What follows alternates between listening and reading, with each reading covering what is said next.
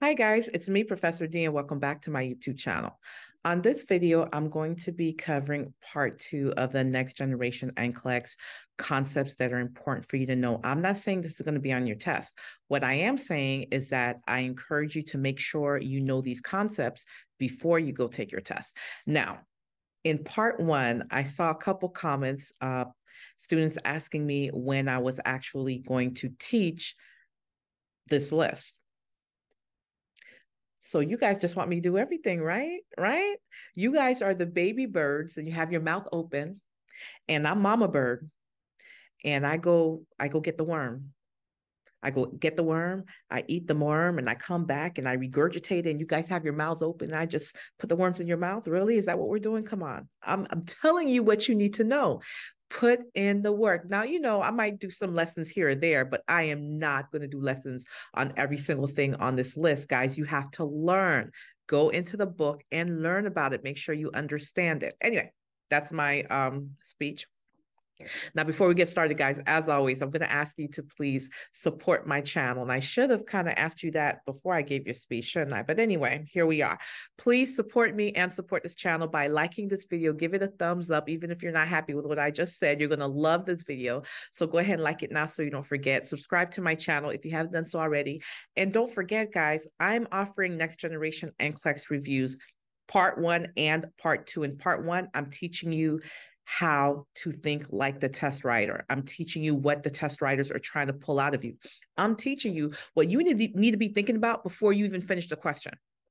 Because once you understand how the test writers are thinking, it's going to make your life a lot easier. In part two, I go over lots of next generation NCLEX types questions. I go over them the answers, the rationale, and just why the answer is the correct answer. If you've been watching my videos, you know how I rock. So be sure uh, to check that out if you're studying for your boards. If you're a current student and you are struggling, you have to do really, really well on your next exam. I made audio lessons just for you. Go to my website and check them out, nexusnursinginstitute.com. You can reserve your spot for one on one tutoring at my website, nexusnursinginstitute.com. All right, guys, without further ado, let's get started. So, we're going to start my list. What else? Oh, by the way, guys, if you haven't watched part one, go back and watch part one, but this is no particular order. Like I said, I haven't seen this exam. I don't know what's on this exam, but I have students that have been testing all over the country. And there are certain items they're seeing over and over and over, no matter what state they're in. So I kind of just compiled a list, but this by no means means that this is on your exam. Okay.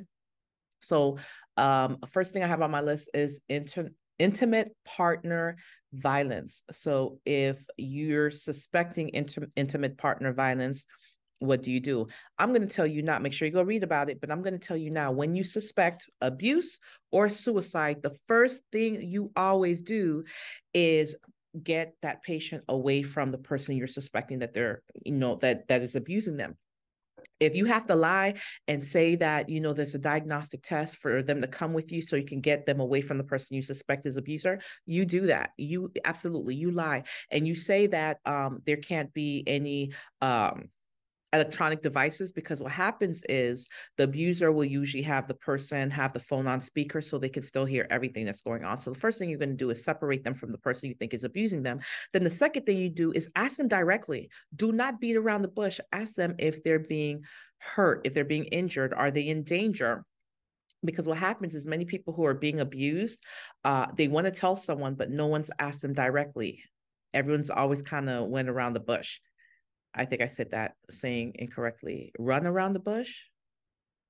They go around the bush. No, it's something physical to a bush. They hit the bush. When what I'm saying is they don't ask directly and you need to ask directly. Somebody tell me in the comment section because I've had a problem with this before. For some reason, I can't remember the saying for when someone doesn't want to tell you something directly. Please let me know in the comment section what it is. I'm going to feel so stupid when I see it. But anyway, make sure you talk to the person directly and ask them if they're in danger if that person is harming them. So intimate partner violence. Next on the list, oh, bisphosphonates. So it's very important. Make sure you know uh, that drug class. Make sure you know the indications, what type of patient you're going to be giving it to. Patient with, you know, osteoporosis. Make sure you know that you got to take it with a full glass of water on an empty stomach. You need to be sitting for up for at least 30 minutes, right? After you take that medication. Make sure you know everything about that drug class. Uh, therapy therapeutic communication barriers. That's what I have on my list. So, what are the barriers to therapeutic communication? What do you not say to your patient? Remember, you want your patient to be able to express themselves, you want them to talk. So, you're not going to keep interrupting them, right? You're not going to keep looking at your watch or the clock. You're not going to keep tapping your foot or your fingers you're not going to look around instead of you know making eye contact. You're not going to ask the patient why or what made you because you're putting them on the defense. So make sure you know those blocks to therapeutic communication nursing interventions for shock. So, what a lot of students who are coming back to me, they're telling me that um, you're given a list of nursing actions and you have to prioritize them. So if your patients are in your patients in shock, what are you going to do? Um, delirium versus dementia. Uh, you a lot they're telling me that you have to tell the difference so they'll give you all of these signs and symptoms and you have to take the mouse and move it either under delirium or dementia. Don't forget delirium short term it's acute it comes on suddenly there's an underlying cause. Once that cause is resolved boom delirium goes away. Dementia not so much it's the opposite. With dementia it's slow it's progressive that means as time goes on it only gets worse. Um, there is no cure so make sure you know the difference between those two priority actions for anorexia. So, patient who hasn't been eating, what is your priority action going to be?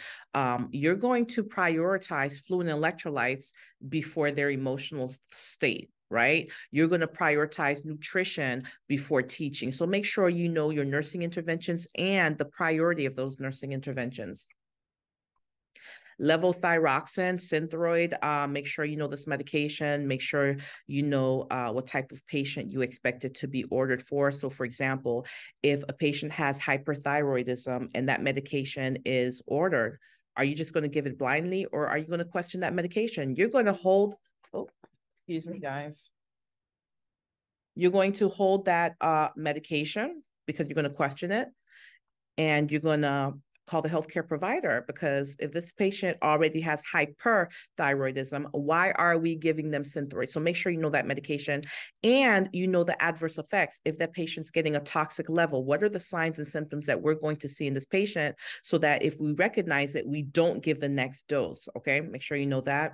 Oh, also you need to know uh, which way those thyroid hormones go. So for hyper hyperthyroidism and hypothyroidism.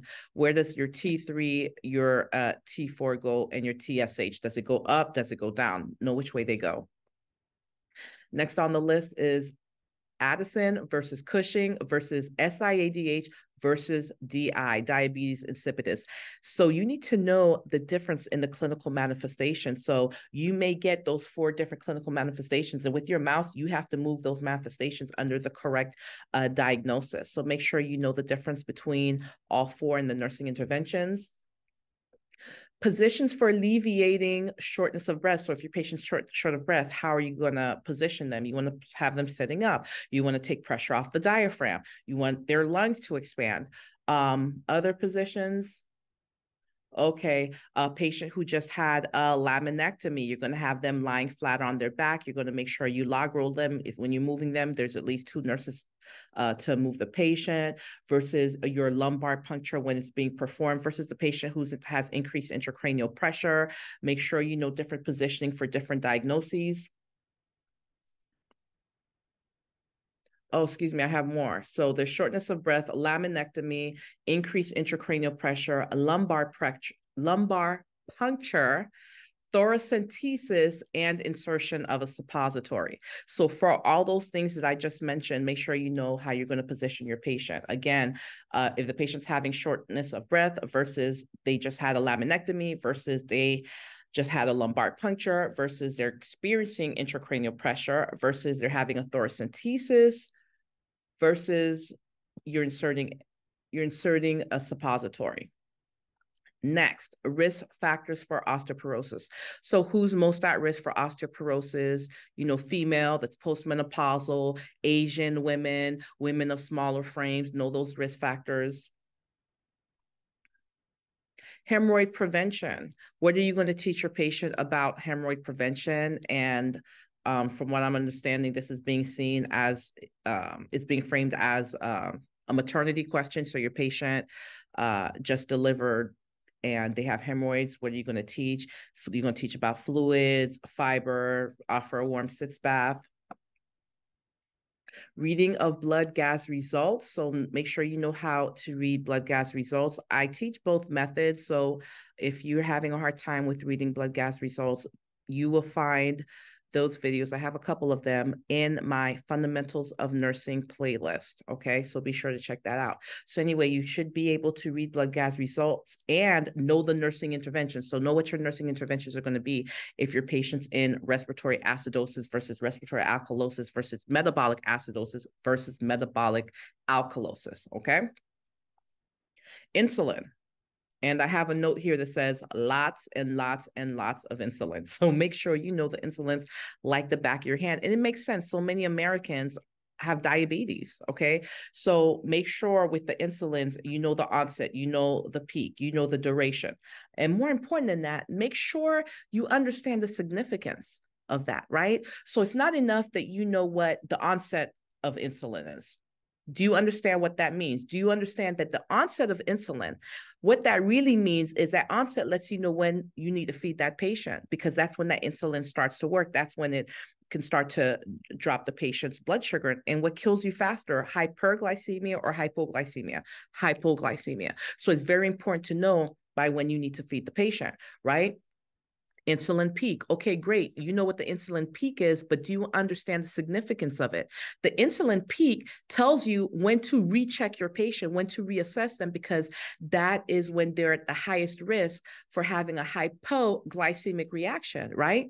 And the duration, yes, you need to know your insulin durations, but more importantly, you need to know what that means. You need you need to know that's how long the insulin works because that insulin duration is going to let you know the next time that that patient's going to need um, another dosage. So make sure you know that because they're seeing lots of questions about insulin. What must be reported? Okay, so um, you'll be given, you may be given a list of situations, and you have to be able to decide what um, you're mandated to report or not. So, for example, you know, sexual or physical abuse of a minor or someone who is mentally uh, disabled or uh, certain STDs, you're mandated to report to the state. So just know um, what you're mandated to report. Foods, lots of foods. Do you know foods that are high in fiber versus foods that are high in vitamin C versus foods that are high in vitamin K versus foods that are high in sodium versus foods that are high in calcium versus foods that are high in fiber? Please don't shoot the messenger, guys. I'm just trying to help you guys out. Let's keep going. Next, uh, who is immunocompromised? Can you recognize who's immunocompromised? Such as, you know, patients with HIV, AIDS, patients who are getting chemotherapeutic drugs, organ transplant recipients, patients who are on long-term steroids, patients who have autoimmune disorders such as lupus, myasthenia gravis, Guillain-Barré. Make sure you know patients who are immunocompromised transsphenoidal hypophysectomy. So you need to know what type of surgical approach is done with the transsphenoidal hypophysectomy. So if you're given an illustration and the question asks you, what's the surgical approach? You need to know that that surgical approach is through the nose and the sinus cavities, not the head, right? So make sure you know that.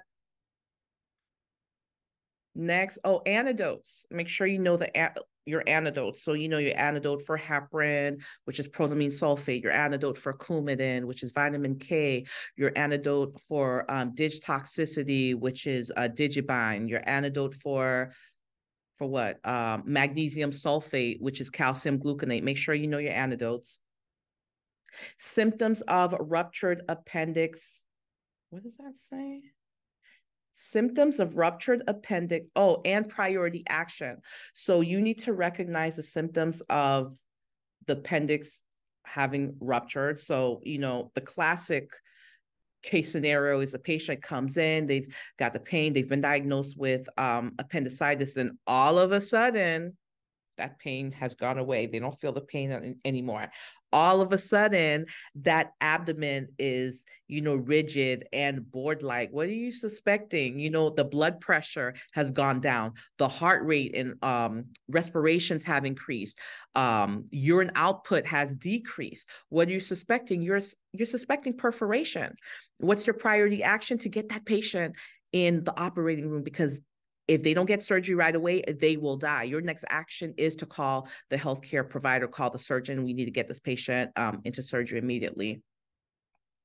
And last on my list is compartment syndrome. Oh my gosh, I've talked to you guys about compartment syndrome so much. I'm not even going to go there. I've I've I've beat you down with compartment syndrome. Make sure you know the signs and symptoms of compartment syndrome. Make sure you know the nursing interventions, and of course, make sure you know fasciotomy, the um, the surgical intervention for the patient in compartment syndrome. And I think that's it. That's it for this list. So guys, you have lots of homework to do part one and part two.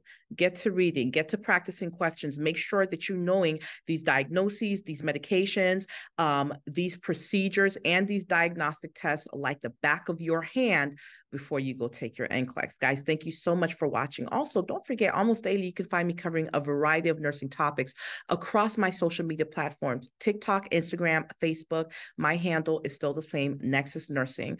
Be sure to reserve your spot for an NCLEX review, part one and part two, by going to my website, nexusnursinginstitute.com. Guys, thank you so much for watching. You guys will catch me on the next video.